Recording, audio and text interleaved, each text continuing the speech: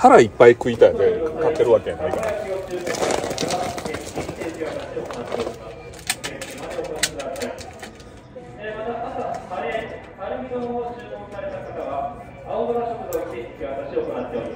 ちょっと遠い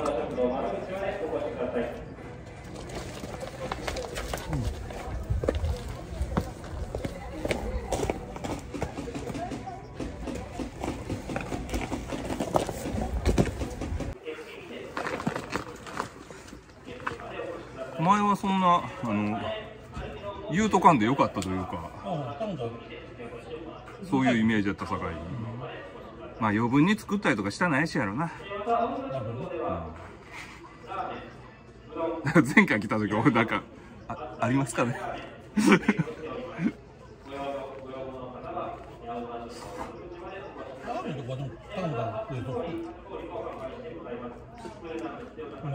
どうやろ頼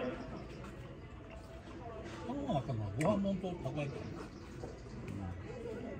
たこ焼きの方が焼いたらできるしいけそうやけどな。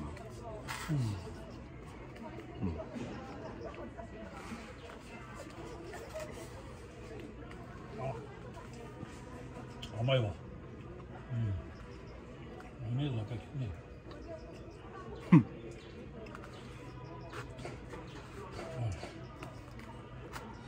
結構さっきの家でも腹ペコじゃなくて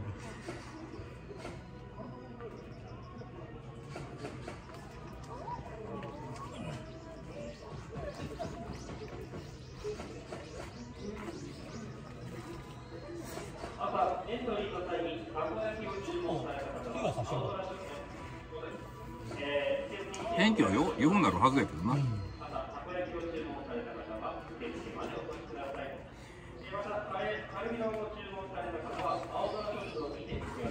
出た一気にパワーが出るから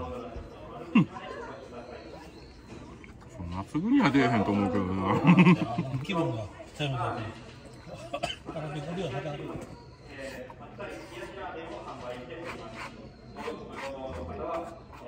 それは向井君さやけど動物としては間違えてるよ空腹の時の方がやっぱりこここ追い詰められてパワー出すなんかやっぱりお腹いっぱいやと安心するやんパエリア美味しそうだね。パエリアうわ女子受けってやつやね取っちゃったけどよかったですか？あ僕顔出しでね、顔出しますけどね。はい。じゃあ、こうこうときます。ありがとう。おごめんなさい、すいません。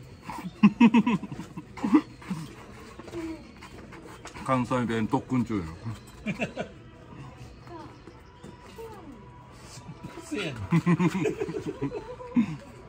っぱり若干インドネシアちゃいますな。ちゃうちゃうねんなやっぱりね、難しいらしいですね、やっぱり。いろんあのうん俺も千葉行った時にいろんな人に真似されたけど、やっぱ違う。違うようん。なまあテレビで関西弁がこう氾濫してさかいにそんなにハードル高くないんかなって思うねんけどなこっちとしてはそうでもないみたいな やっぱりあんまり真似さなんか、なんか、こっちいじられてるのかって、ちょっと軽くイラッとする。いやいや、そうじゃ、そういそうじゃないです。女の人がやってるみたい可愛いといいんだけど。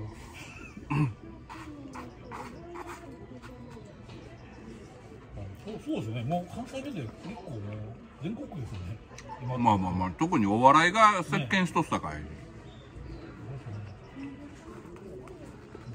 でもあのと江戸門の方が多かったですよね。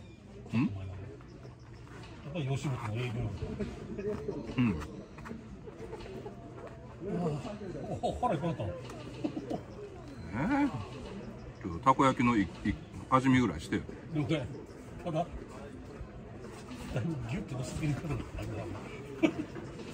結構ボリューミー。あ、もう最後ですよ、最後。う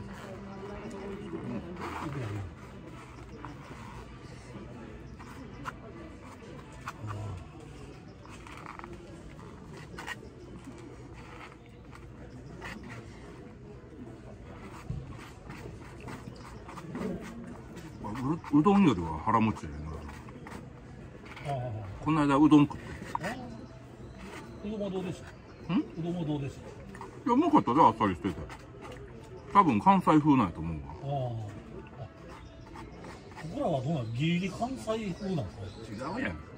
オーナーが関西やかああなるほど。なるほらだからこのたたこ焼きもそうやん。どなるほどなるほど。思いっきり関西風なんや。っていうかなこっちはどうもあんまたこ焼きの店ないみたい。ええそうなんや、えや屋台ぐらいですか？わお祭りでいやどうなんやろ？分からへんけど、いやだって僕らがそういうとこ行ったら絶対あるってイメージあるやんか、ないんかもしれんねひょっとしたら。ちょっと考えられへん。いやだからみんな食べ慣れてへんからここの食ってみんなうまいって言うよ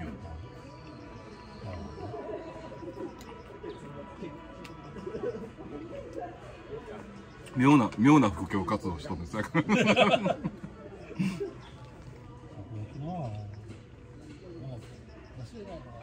ら結構どこどっか駅があるっていうのもあるし祭り駅は絶対あるし商店街行っても大概なんか一軒ぐらいいやそれたこ焼きはどっかその辺行ったら売ってるでねそうそう僕はあのたい焼きの方がないな思ってどっちかっていうとああでも最近あの京極通りとか京極っていうか三条通りああそこは多分有名。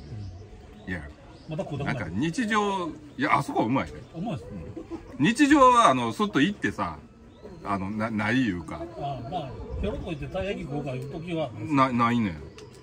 あっこの六地蔵の港南ぐらいしかないね。えらいえらいまたマイナーな。うんでも港南プロやでこうプロ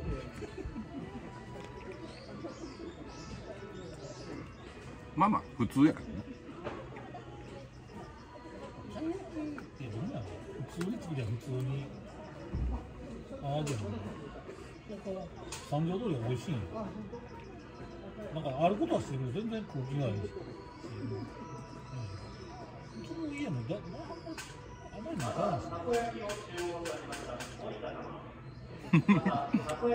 よ呼び出されるんや。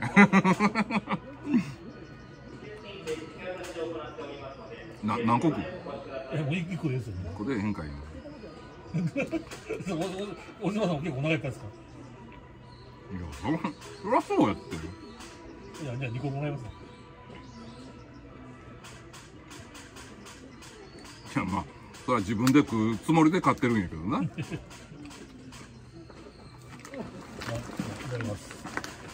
あ、もう、でも、もう、私、最後持ってきますわ。置いてください。こっち、もらいましょ。